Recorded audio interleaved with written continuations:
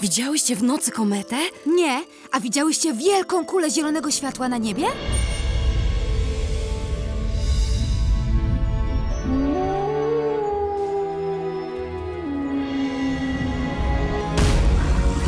Różyczka jest wróżką mm, kwiatową, mm, stąd też jest to imię. Wydaje mi się, że jest to taka najbardziej zabawna z wróżek. Ona bardzo dba o siebie, ma fioła na punkcie swojej urody. Pluje. Fu, bo mi naczynka popękają. I oprócz tego jest ym, w niej bardzo dużo ironii.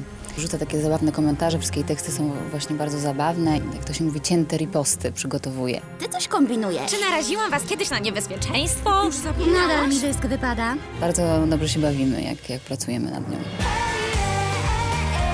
Oczywiście, że mam przyjaciółki i jest coś takiego, że jak dłużej ich nie widzę i każda z nas jest bardzo zajęta, to odczuwam taki brak.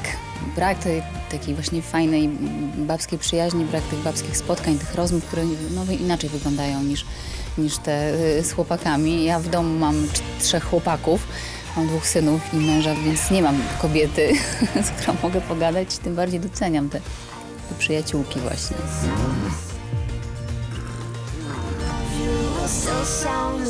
Kochani, przed nami kolejna część dzwoneczka.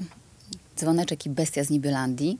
Zapraszam Was serdecznie do kina. Premiera już 16 stycznia.